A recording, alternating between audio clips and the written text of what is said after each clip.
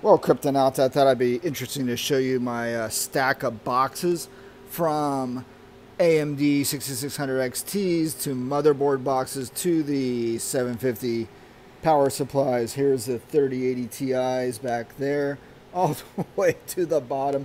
These are all emptied.